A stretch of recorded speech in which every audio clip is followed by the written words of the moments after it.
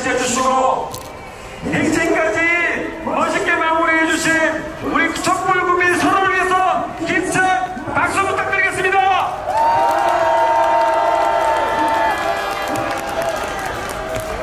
세계 민주화 운동의 가장 모범을 만들고 창조해 가시는 우리 국민들께 감사 말씀드리겠습니다. 12차 촛불 집회가 오늘 마무리되고 있습니다. 수만 명의 시민들이 함께 하셨습니다. 너무 고맙습니다.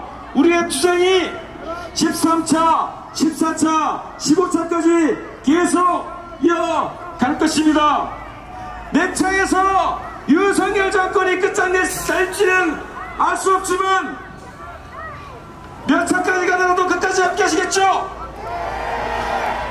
윤석열 정권 퇴진과 퇴진 이후에 새로운 대한민국을 향하여 힘차게 투쟁합시다 여러분!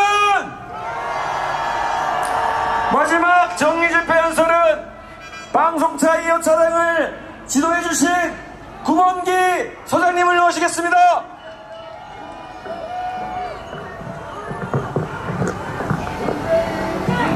마이크가 빠지지 않네요. 여러분 안녕하십니까?